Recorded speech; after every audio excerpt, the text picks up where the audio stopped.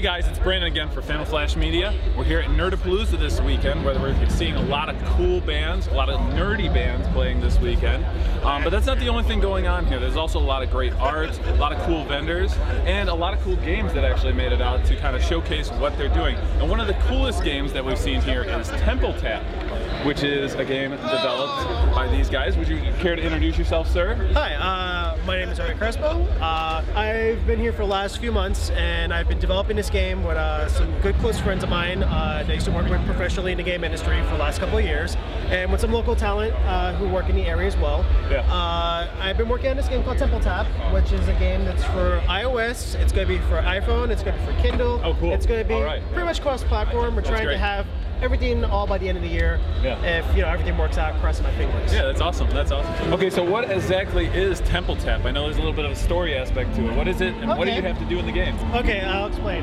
So our adventurer, Pat Templeton, uh, is out on one of his excursions, and he happens to be in a marketplace and finds this unusual device that has unusual sounds and colors to it. So he starts fiddling with it, and it opens up, and there's a map inside.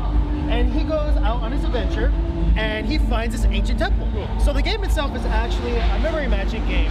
Uh, that is an endless runner. Uh, there are many tiles in the stage, and it eventually grows exponentially as you play.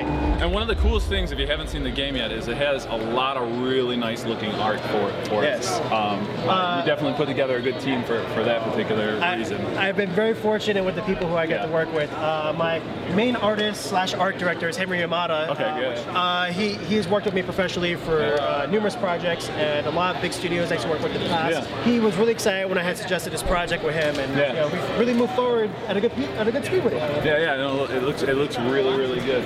So we're gonna get a chance to hopefully play it in a few minutes and kind of take a look at it uh, okay. um, and, and, and see what it's like. It's, it's been a pleasure. Thank All you so thank much. Thank you very sir. much. Yeah, yeah.